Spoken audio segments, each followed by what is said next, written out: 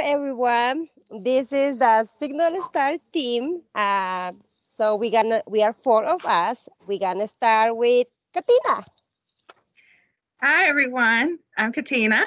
Um, I'm a member of the Signal Stars team, and I'm trying to get my steps in today. Just want to tell you a little bit about how I'm getting my steps in each day. It's been a little challenging because I normally get more steps when I go to the office. So working from home has been a challenge to get my steps in. But what I figured out was I found my husband introduced me to a track not too far from our house.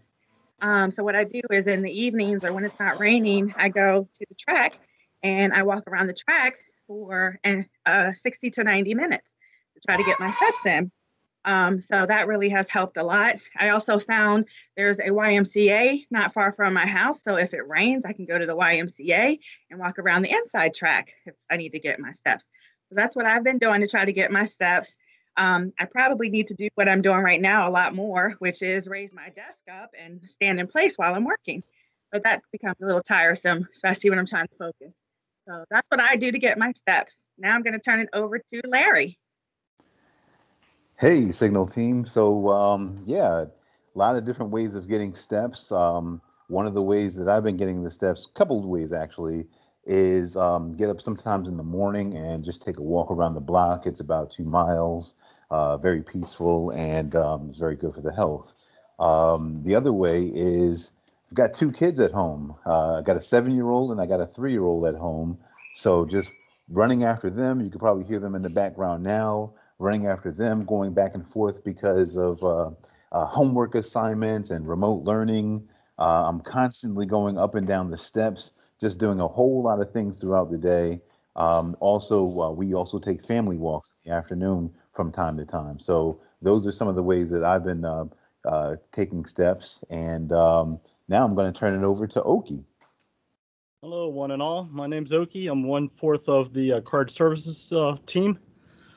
Oh, what do I do to keep active? Well, I'm pretty much always on my chair, but I do a lot of walking towards the printer. I do that, and I do the little maze that we have in our second floor department. In addition to that, uh, I do take walks outside twice a day, mid morning, then late afternoon there's the printer that I go to. Other than that, uh, I try to stay as much, uh, as active as I can during these uh, COVID times. Now I hand it back to Gladys. Hi, everyone. This is Gladys. I'm part of the Signal Star team. Um, it is a pleasure to work with my whole team. Uh, I try to keep active always. I'm very active. So every time that I feel like so stressful or something, I just stand up and do my five minutes exercise myself, standing right here like crazy one. And Oki just laugh at me, but this is how I am.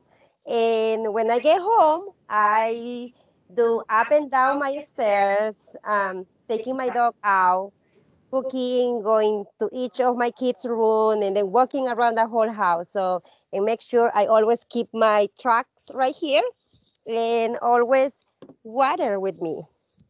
So again, this is the Signal Star team. It was a pleasure uh, to meet you all of you guys and keep in track.